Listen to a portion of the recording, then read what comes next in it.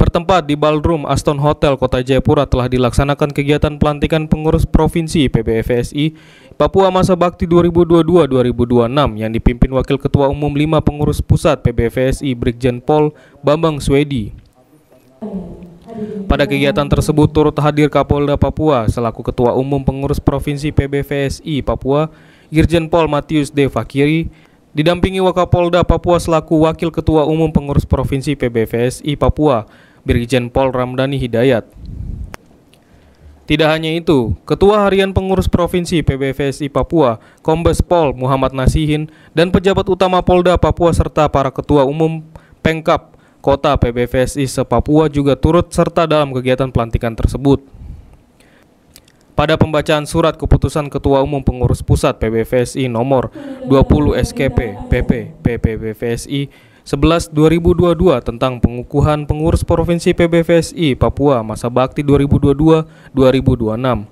Kapolda Papua kembali dipercaya menjadi ketua umum pengurus provinsi PBVSI Papua.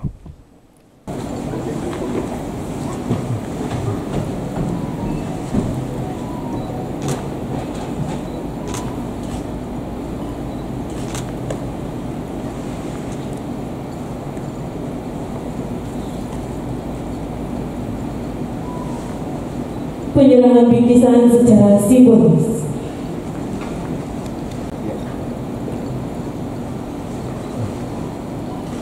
Ini bola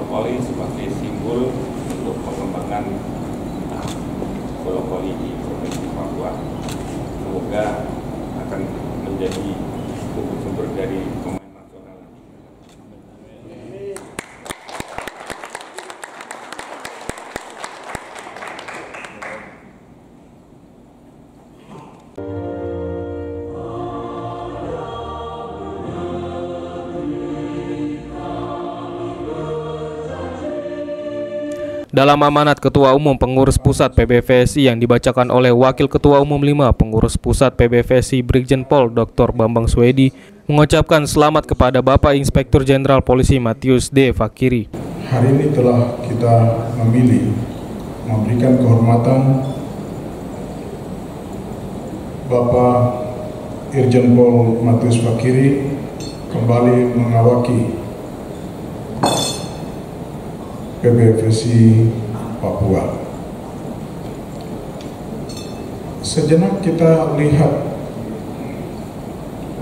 beberapa catatan prestasi beliau ketika beliau bersama dengan kita pengurus KONI. Kami memberikan kehormatan kepada beliau menjadi ketua kontingen Papua pada PON 2021 dan sebuah sejarah telah mencatat bahwa untuk pertama kali Papua berada di urutan empat besar. Mari kita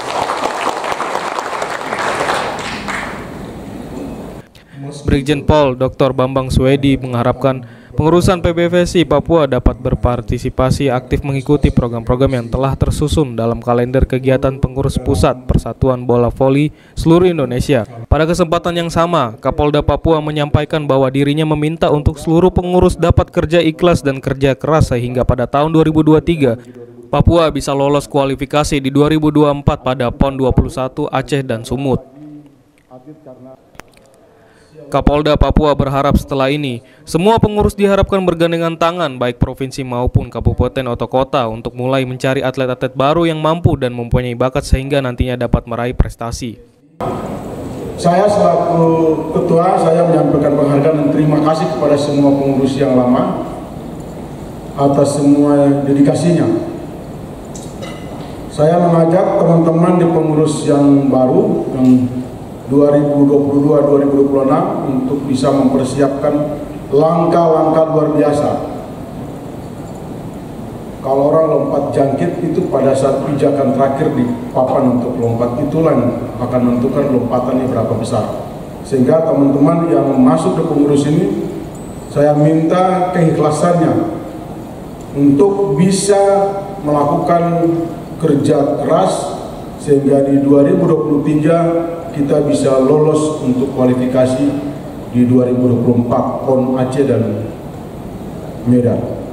Untuk diketahui, para pengurus yang melaksanakan pelantikan dan pengukuhan yang ini Kapolda Papua sebagai Ketua Umum, Wakapolda Papua sebagai Wakil Ketua Umum, Karo SDM sebagai Wakil Ketua Umum 1, Irwasda sebagai Wakil Ketua Umum 2, Dir Rex Rimum sebagai Wakil Ketua Umum 3, Karo Lok sebagai Wakil Ketua Umum 4, dan Kabit Humas sebagai Wakil Ketua Umum 5 Pengurus Provinsi PBSI Papua masa bakti 2022-2026.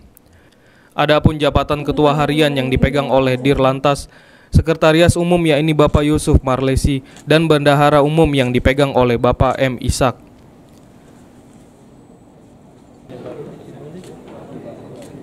dan juga Ketua KONI. Dari Kota Jayapura, Papua, Lani, Jayapura. Pos mengabarkan.